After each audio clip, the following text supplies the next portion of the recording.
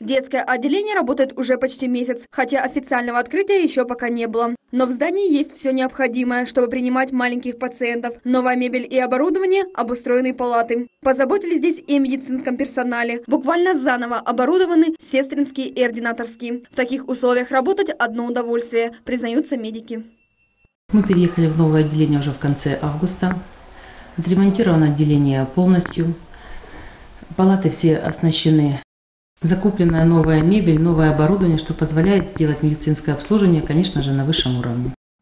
После капитального ремонта здание преобразилось как снаружи, так и внутри. Были заменены канализация, система отопления, водопровод, прикрыта кровля, вставлены пластиковые окна. Особая гордость детского отделения – новое оборудование. Пеленальные столы с подогревом, кювезы, а также молочные комнаты и социальная палата. Такой глобальной реконструкции рады не только персонал больницы, но и пациенты.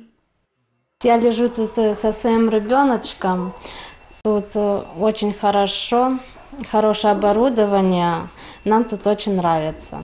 Я тут лежу четыре дня. Мне тут нравится. Тут добрые врачи и хорошо кормят.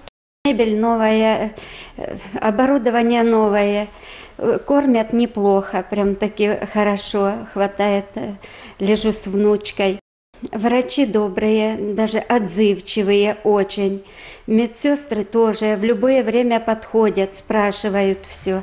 Детские отделения – особая отрасль во всей системе здравоохранения. Все потому, что обслуживать здесь не простых пациентов, а маленьких детей. Забота об их здоровье – одна из самых главных задач современной медицины, и в нашем районе это понимают.